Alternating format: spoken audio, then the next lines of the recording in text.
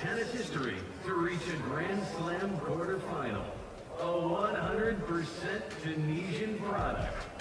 Ons Jabeur.